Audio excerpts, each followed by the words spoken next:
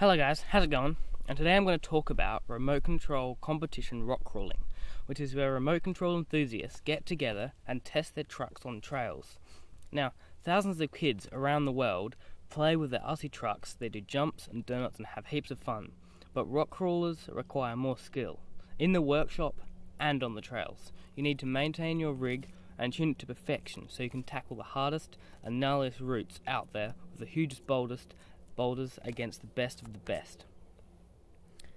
Now, before the competition, it's important to get to know your rig, know what it can do and what it can't, and what, what is likely to break, and make sure all your electronics work properly and that all your batteries are charged. To make competitions fair, there are different categories and events throughout the day.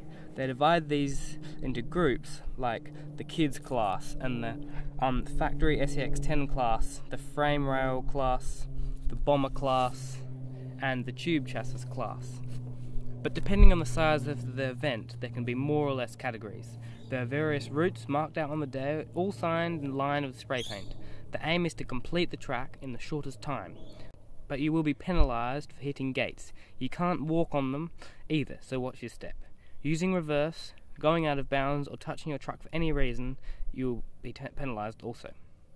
If you need to flip your truck, you will also be assessed a penalty. The whole point is to have some fun, but, but to get maximum results from your rig, it is important to consider some basic physics of rock crawling. A longer wheelbase truck will be more stable and better at going up slopes, but a shorter wheelbase will give you better maneuverability on tight sections of the track. Also, lots of people think the more articulation the better, which is not necessarily true. For if you have too much suspension, you will get torque twist, where the body twists to one side, which is not good for the performance of your rig. The right amount of suspension is when you can fit only one wheel underneath your flex truck. When you are not using your truck, try to keep its wheels off the ground. You can place it on a stand to keep your wheels and shocks in a good shape because otherwise your crawling wheels will get flat spots, which is like having lopsided wheels. If you're going to upgrade your rig, the best place will be on broken parts first. But once it is reliable, a good way to spend some money is on a good set of wheels, because your wheels are what connects your truck to the ground. There is no point having lots of power and really strong drivetrain if the wheels are hard and not grippy. Most good ready to run trucks come with a decent pair of wheels nowadays, so at least maintain your wheels or keep a good clean set especially for the competition. Ground clearance is big key to rock crawling but it is always a trade off. A higher ground clearance will help you get over things, but will raise your overall weight, making the rig less stable on slopes. The best way of getting a higher rig without major modifications is to get bigger wheels, but then your rig will be geared differently. It will be faster, and the wheels will make your truck look less realistic to scale. You have to understand that ground clearance helps your rig at crawling, and so does having your weight close to the ground. So there's a trade off you can't have a good ground clearance and have your weight low to the ground. So if you keep wheel most of your weight in your wheels by getting bead locks, because bead locks are heavier, or metal rims, that'll keep your weight low. Last of all, speed.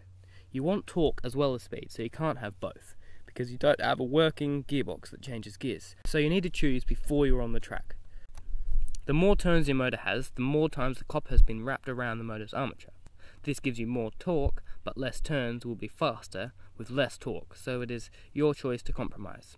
Some parts, though, you might need some momentum to get over some obstacles, so it's best to keep your speed at around 10 km an hour.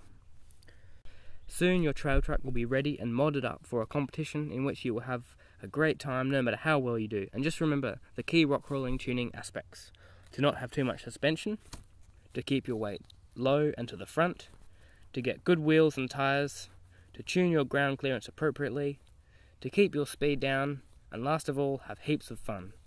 Alright, so if there's anything else you'd like to know, um, comment down below. I'll do my best to help. Um, if you like this video, give it a thumbs up. And um, if you want to see more Ultra RC videos, subscribe. And um, don't forget to press the bell icon as well. So um, yeah, thanks for watching Ultra RC, and see you later.